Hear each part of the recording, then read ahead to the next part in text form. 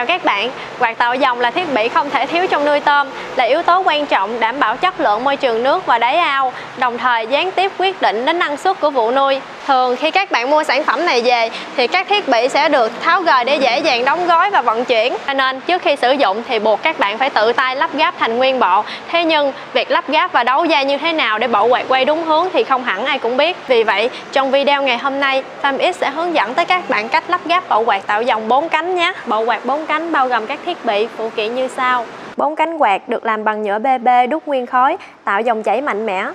Phao được làm bằng nhựa HDPE, dẻo dai, chống ăn mòn.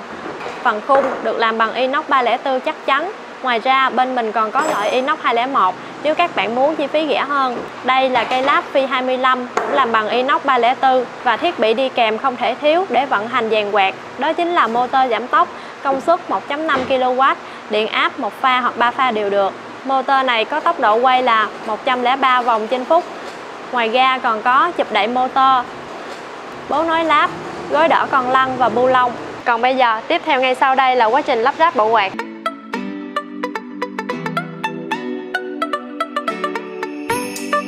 Các bạn lưu ý, khi đặt motor ta đặt theo chiều hướng mũi tên đi ra cùng với hướng mũi tên trên phao, cả hai đều cùng chiều với nhau.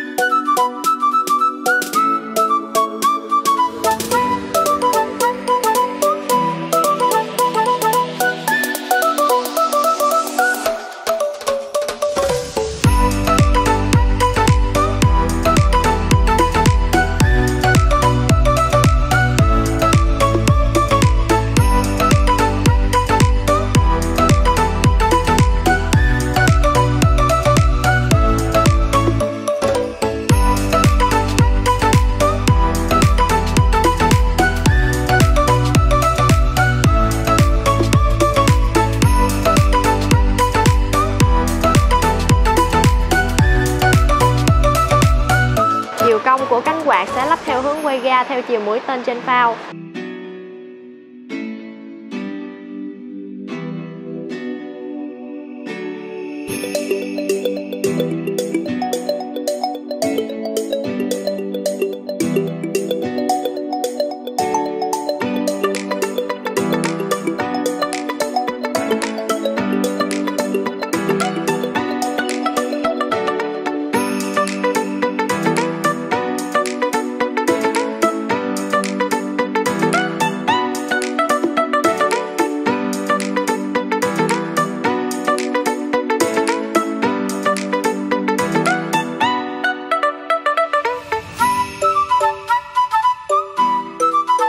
Đây là da nhớt 800ml, ta sẽ đổ khoảng 500ml vào motor giảm tốc là được.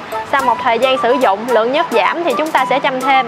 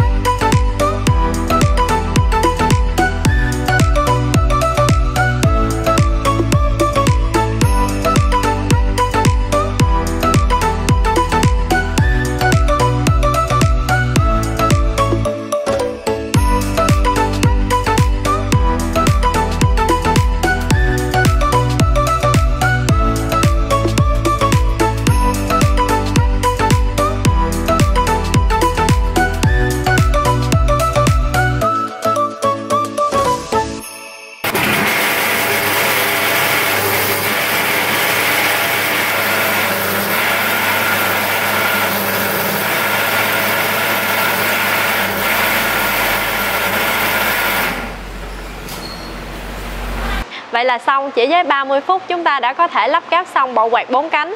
Không quá khó đúng không mọi người? Hiện tại thì Famis đang cung cấp bộ quạt này với các dòng 4 cánh, 6 cánh khi các bạn mua sản phẩm này về thì Famis sẽ có bảo hành lỗi kỹ thuật động cơ motor giảm tốc trong vòng 30 ngày.